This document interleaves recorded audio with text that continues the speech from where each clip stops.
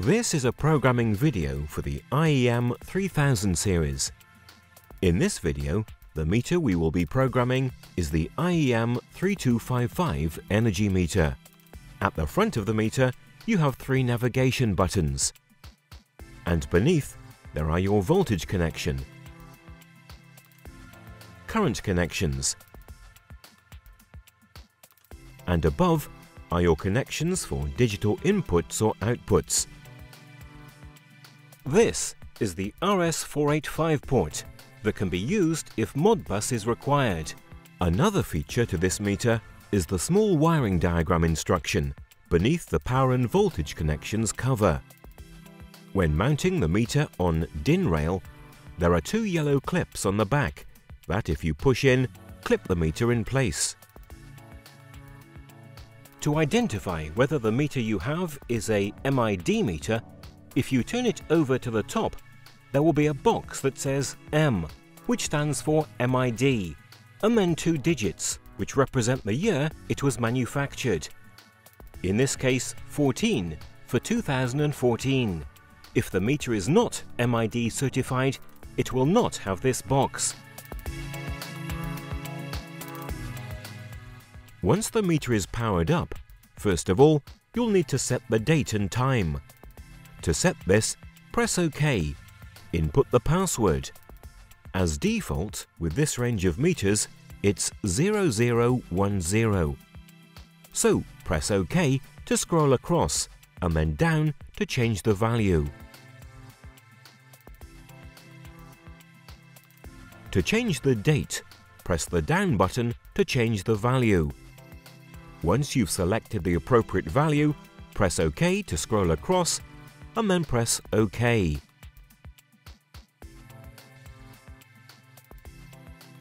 To change the time, press down to change the value and OK to scroll across. Then press OK to save the settings.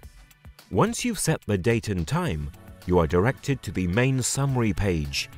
To view the different values and measurements, scroll down with the down arrow. To see volts and amps, press OK.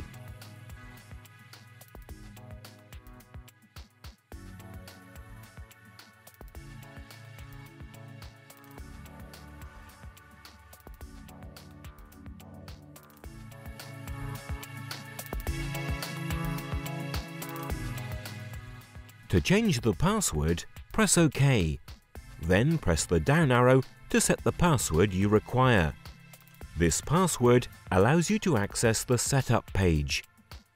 We'll keep this at default 0010.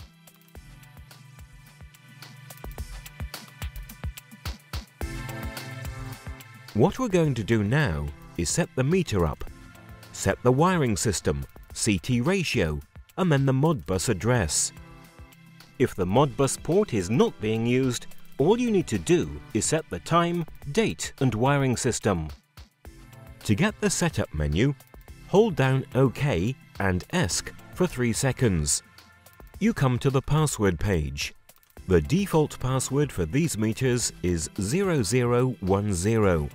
Once you've inputted the password, you come across the Access Counter screen, which identifies how many times you've accessed the setup. To change the wiring, press OK. Then scroll down with the down arrow. You see the different wiring systems. 3-phase, 4-wire, 1-phase, 2-wire and 3-phase, 3-wire. We'll keep this one at 1-phase, 2-wire. To save, press OK. And OK to save changes. To change the CT ratio, press OK. Change the secondary CT to either 1 amp or 5.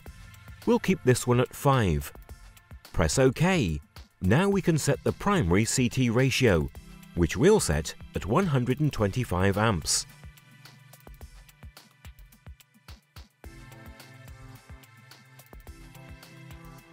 To change the frequency, press OK, and then the down arrow to change to either 50 or 60 Hz, and then OK to save the changes.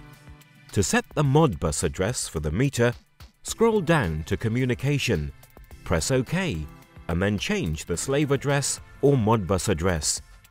To change these, press OK. The baud rate. To change that, press the down arrow, then OK. Then the parity. This can be even, odd, or no parity. We'll keep this as even. Then press OK. To save the changes we've just entered to the wiring system, CT ratio, and Modbus address, scroll down until you get to Exit Configuration. Press OK, and then the changes have been saved. Programming complete.